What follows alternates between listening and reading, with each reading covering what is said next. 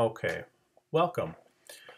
We're going to use MailChimp, which is a, a wonderful online program that is free um, with some basic features. We're going to use this to design your email. I want you to use a real program to design a real email that you would use to send to a real customer. Um, so everything is as real as possible in class. So the first thing we'll do is um, simply click here on Create. Uh, well, I'm assuming also that you've logged in and we're all using the same account in class. So that login credential or those login credentials are on our Blackboard, course Blackboard site under assignments, um, or I'll give them to you in class as well. So this is the new MailChimp interface. Um, we're in campaigns, all campaigns, and then you click create campaign over here, and then click email, and this is where we'll start. So let's name it to keep our class um, consistent and assign one email to your first and last name. Click begin. So when you create an email for real, there are four uh, steps that you need to provide. First, who are you going to send it to? So you can, when you have like a paid account, you have a list of um, clients and I'm sorry, customers or clients that you have that you can just tie in here in the paid account. With the unpaid account, you have to import them individually every time. Um, they give you a little bit for free, but uh, not a tremendous amount. Um, the from, you'll have to type this in um, individually is here as well. With a paid account, you do have this um, defaulted uh, to whoever the account owner is. And for subject, same thing. You can type a subject in here. Um, you don't have to do that right now, but um, I'll type in um, just my new email blast. Traditionally, that would be something that you're sending to the, the customer so they can see what it is in the subject line. For my personal business, uh, for Windhill Books, we use just Windhill Books news and events. So maybe that's a better, um, a better headline news, news and events. We'll click save. And then the last thing is, is you will design your email. So let's click design email. And it gives you the option of a couple different templates for free. These two over here. And then when you get into these, it says you have to upgrade to use. Upgrade is when you pay them a monthly fee. What I have done is if you go under saved templates, I have a class template in here that we all can use. And this is a good starting point for a good email. So let's click on that, graphic design main template. And this will give you the template and the kind of editing interface that comes with MailChimp. It's a pretty simple process. It's a drag and drop. So right now I have um, what every good email should have, a header um, that is designed using the brand and the company name and then what it is. Here it's a weekly newsletter. You should always start with a nice three to five word headline and a short paragraph, maybe two to three sentences describing what benefit you're giving them or what kind of information you're trying to communicate. And then a nice large image is always helpful to grab their attention. And then a couple other images and a couple other um, product or service benefits that are highlighted and here it's a bunch of cute pictures of puppies um, because that's what we do at the veterinary clinic is we fix little animals.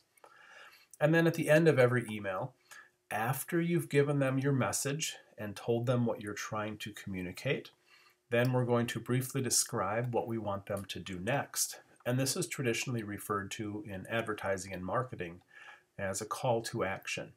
So we have a button down here Buttons are clicked on um, much more than text with links or text with underlines. So we want a nice colored button down there. The button is, uses the color of the brand that we pulled in from, or that orange from the header.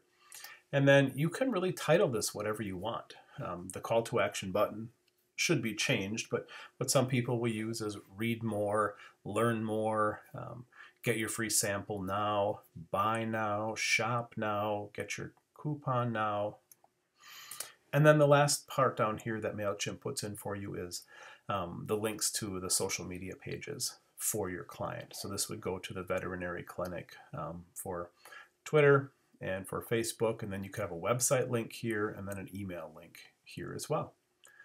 The bottom is really just the logistical stuff where you have the brick and mortar mailing address, how they could possibly unsubscribe if they wanted to, and who the list is coming from.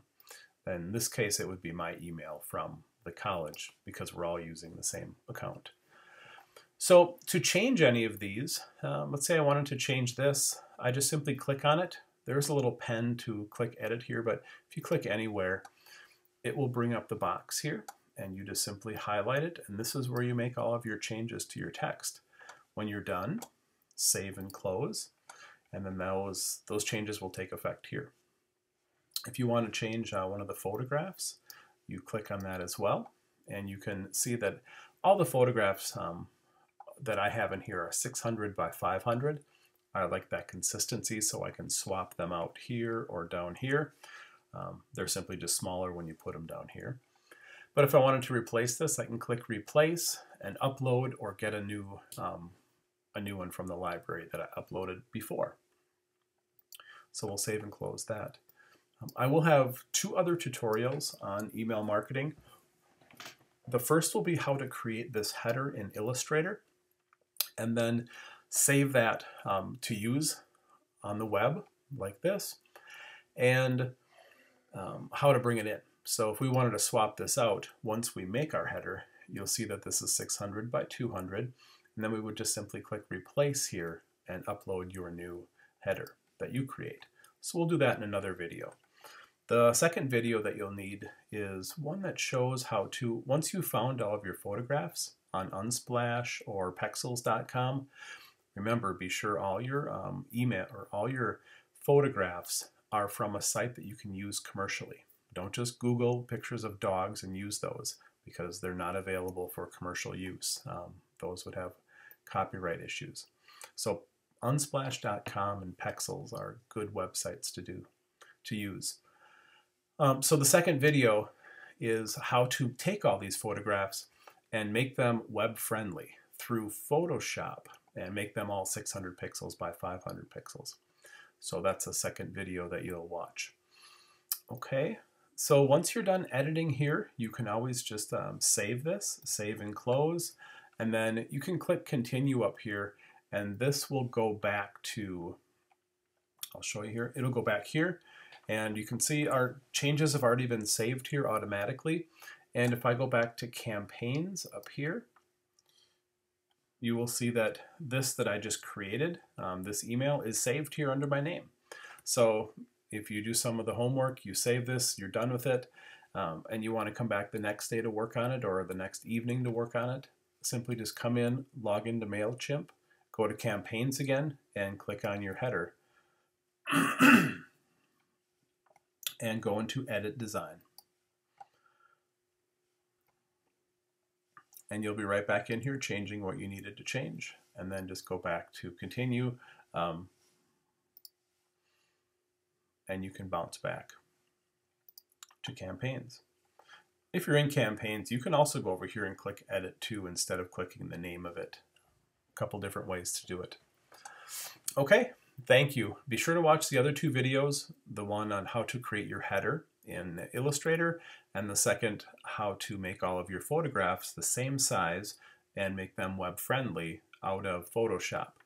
With this video and those other two videos, you should be able to create your entire email marketing campaign. Thank you.